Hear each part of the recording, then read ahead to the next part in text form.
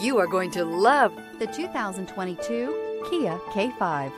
The Kia K5 has a stylish exterior that will be sure to turn heads, sleek interior looks, fantastic handling, and an abundance of technology will make this a fun vehicle to drive.